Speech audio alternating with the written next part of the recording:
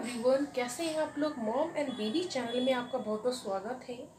और आज का जो मैं वीडियो लेकर आई हूँ, इसमें मैं आपको बताऊँगी कि अगर बच्चा बेड से गिर जाए तो हमें क्या करना चाहिए? क्योंकि जो टॉपिक जिस टॉपिक पे मैं आपसे बात कर रही हूँ, ये सबकी लाइफ में एक बार ज़रूर हुआ होगा। मोस्टली पेरेंट्स जितने भी होते हैं, सभी की लाइफ में होता ही है। बच्चे अक्सर बेड से सोते सोते गिर जाते हैं। तो अगर मैं अपनी बात करूँ, मैं अपना एक्सपीरियंस आपके साथ शेयर करूँ तो कुछ टाइम पहले ऐसे हुआ था, मेरी जो बेटी थी, चीकू, वो फाइव मंथ्स की थी और मेरे हस्बैंड थोड़ी देर के लिए उसको बेड पर लिटाकर वो किसी ने बाहर बुलाया और वो फटाफट बाहर गए। तो और मैं किचन में थी, मुझे पता ही नहीं चला कि भाई, मुझे लगा अंदर शायद होंगे वो उसके साथ।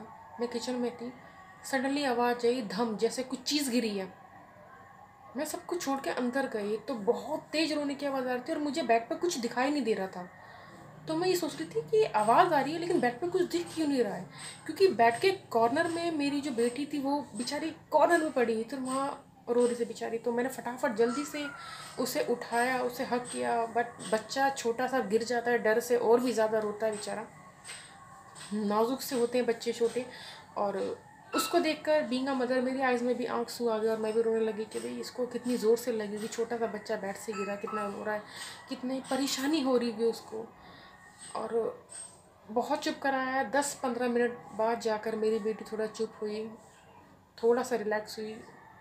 उसके बावजूद भी वो, जैसा कहते हैं रोने के बाद भी थोड़ा हल्का हल्का बच्चा सुबकता रहता वो वैसे कर रही थी। और मैं उसको देख देख कर अंदर, बहुत अजीब फील हो रहा था मुझे बहुत ज़्यादा कि भाई क्यों ऐसे बेबी गिर गया? और सडनली बस एक, दो सेकंड के लिए मेरे हस्बैंड बाहर गए थे जो उनको लगा कि मैं भी आ जाऊँगा और सडनली इतने बेबी जो है, वो गिर गया।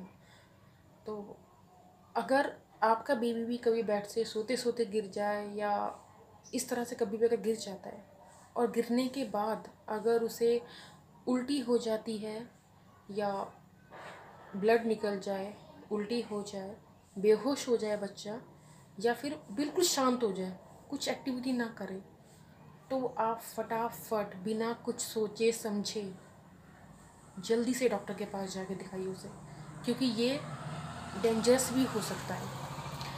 जैसे ही हमारे साथ ऐसा हुआ, मैंने डॉक्टर को फ़ोन किया, अपने डॉक्टर से बात की तो उन्होंने मुझे सिम्टम्स बताए, जो मैंने आपको भी बताए हैं, और उन्होंने कहा कि 24 घंटे तक वेट करो नीतू, अगर 24 आवर्स तक अगर बीबी को इस तरह की कोई चीज़ नहीं होती वो नॉर्मली बिहेव कर रहा है it means everything is okay कोई प्रॉब्लम वाली बात नहीं है। लेकिन कहते हैं ना बींग अ मदर और हम जो पेरेंट्स होते हैं तो हम बहुत ज़्यादा सोच में पड़ जाते हैं कि भाई बच्चा गिर गया है तो उसको कैसे जल्दी ठीक करें, कैसे चुप करवाएँ, कोई मेजर प्रॉब्लम ना हो जाए, क्योंकि बच्चे का ध्यान बहुत ज़्यादा रखना पड़ता है बच्चों को। अगर बच्चे का ध्यान नहीं रखते बार बार बच्चा गिर रहा है तो सर में चोट से ही उसको लाइफ टाइम के लिए प्रॉब्लम हो सकती है। So it's my humble request to all my subscribers in fact all newly parents कि जितना हो सकता है अपने बच्चों का ध्यान रखें। एक सेकंड के लिए भी अपने बच्चों को अकेला ना छोड़ें, क्योंकि मेरे हस्बैंड सिर्फ़ दो सेकंड के लिए तो बाहर गए थे और सडनली वे भी इस तरह से गिर गया।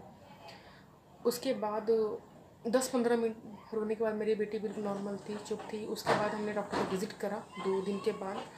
हमने वेट करा, भाई ऐसा कोई सिम्टम नहीं था। दो दिन बाद हमने वेट किया और डॉक्टर से बात की डॉक्टर ने कहा कि ऐसी कोई प्रॉब्लम वाली बात नहीं है और इनफैक्ट डॉक्टर कहने लगे कि आप कोशिश कीजिए कि बच्चे को बिल्कुल भी अकेला ना छोड़ें। और साथ में उन्होंने एक चीज़ और कही कि बच्चे जो हैं, वो गिरते पड़ते ही बड़े हो जाते हैं। लेकिन इसका मतलब ये नहीं है कि हम बच्चों को बिल्कुल अकेला छोड़ दें। हमें उनके साथ एवरी टाइम रहना चाहिए, ध्यान रखना चाहिए उनका। क्योंकि अगर बच्चा गिर जाए सर में कुछ मेजर प्रॉब्लम आ जाए तो उसकी लाइफ लाइफ में भी प्रॉब्लम आ सकती है। आई होप आपको ये मेरा जो वीडियो है, इससे काफ़ी अच्छी इन्फॉर्मेशन मिली होगी तो प्लीज़ अपने बेबीज़ का ध्यान रखिए और बिल्कुल भी इसको अकेला ना छोड़िए। अगर आपको मेरा वीडियो अच्छा लगा तो प्लीज़ को लाइक कीजिए और ज़्यादा से ज़्यादा शेयर कीजिए उन न्यूली पेरेंट्स के साथ जो अभी पेरेंट्स बने हैं या जो पेरेंट्स बनने वाले हैं, उनके साथ प्लीज़ अब उसको एक बार ज़रूर शेयर कीजिएगा। और डॉक्टर से कंसल्ट ज़रूर कीजिए। अगर कभी ऐसा आपके साथ बेबी साथ होता है तो डॉक्टर से कंसल्ट आप ज़रूर कीजिएगा। अगर आपको मेरा वीडियो अच्छा लगा है तो प्लीज़ इसको लाइक कीजिए, शेयर कीजिए और सब्सक्राइब कीजिए, ताकि बेबी से रिलेटेड वीडियोस आपके फ्यूचर में टाइम टू टाइम मिलते रहें। मिलती हूँ मैं आपसे अपने अगले वीडियो में। तब तक के लिए नमस्कार, good bye, take care, love you, and bye. अपने बेबीज़ का ध्यान रखिएगा। बाय।